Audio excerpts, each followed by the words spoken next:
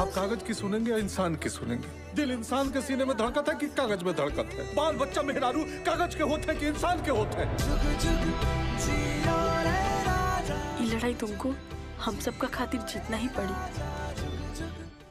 Hello friends, एक बार फिर से आप सभी का स्वागत है। दोस्तों, आज की इस वीडियो में हम बात करेंगे बॉलीवुड की कुछ ऐसे हिंदी वेब सीरीज़ के बारे में, जिनमें काफ़ी सारे एडल्ट सीन हैं, जिन्हें देखने के बाद आप भी चौक जाएँगे। तो अगर आप इंटरटेनमेंट के साथ साथ रोमांस भी देखना चाहते हैं तो इस वीडियो को बिल्कुल लास्ट तक देखे। और हाँ इन वेब सीरीज़ को आप अकेले देखोगे तो ज़्यादा बेहतर रहेगा। वरना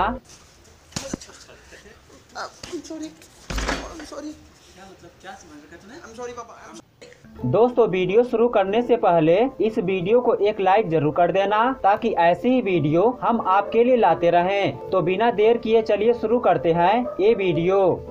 लंबी सांस लो और ज़ोर से। साले सीने पे हाथ रखना है तो ठीक से रखना।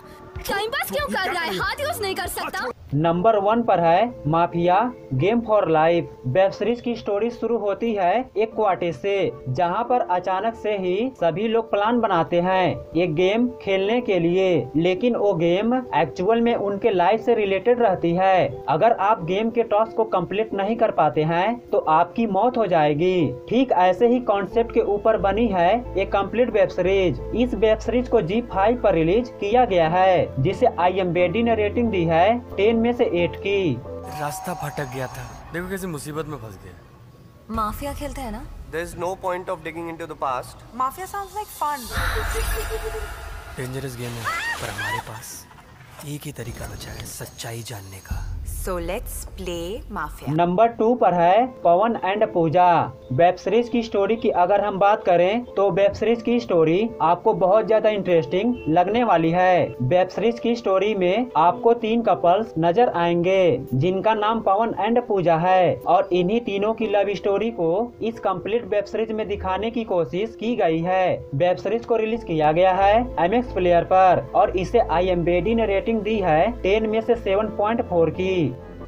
अगर आपको लग रहा है ना कि मेरे साथ रह के अफसोस हो रहा है ना अभी तो मुझे बता दो। माना कि हमारा गुजारा ऑनलाइन से होता है पर अगर एक आध पल तुम ऑफलाइन भी गुजार लोगी ना कोई नुकसान नहीं होगा तुम्हारा।